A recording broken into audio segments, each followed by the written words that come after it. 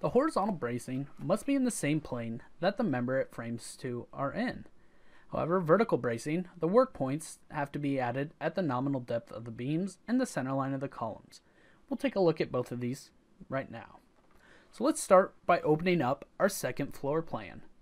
Again, I can go layout and open view and then select second floor and then say OK. Looking at S1, we can see we have a WT 8x13 and two L6x4x38 braces in here. To add these, we'll go to Members, we'll drop down from our joist. If that's back at default, we'll just drop down from Column and select Add Horizontal Bracing. Go and select that, and then we can take a look. We're going to start with our angle.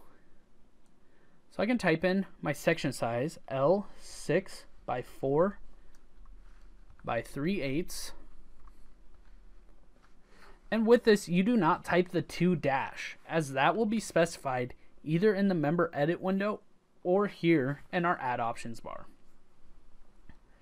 First thing we have is our side of gusset. Do we want the gusset near side or far side?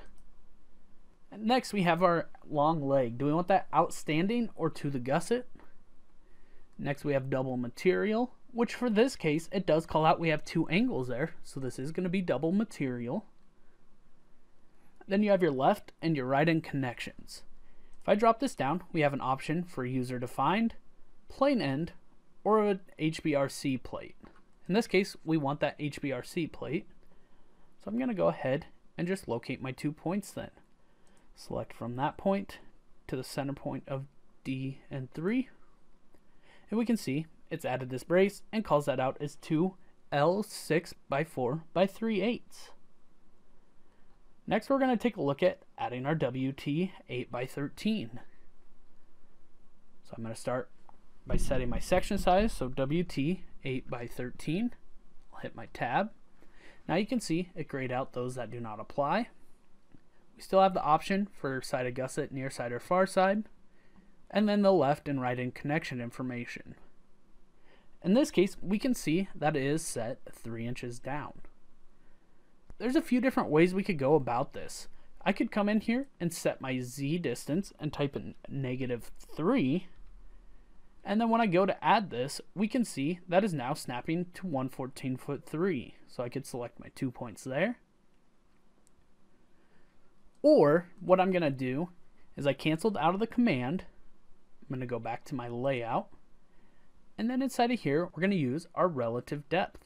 So when I select that, I can then specify how much I want to change my view depth by. In this case, I want to go into my depth. So I'll go negative 3, and I'll say OK. We can now see our elevation here at the bottom is shown as 114 foot 3. In this case, I'm going to go ahead and add in our brace. So I'll go members and our horizontal brace add. Again, because I didn't add that member, I need to reset my section size, which is WT 8 by 13. And then I can select my two points here. Once I have that selected, I can go ahead and right click to end the command and then I can turn those both to solid and see we have the double angles as well as the WT.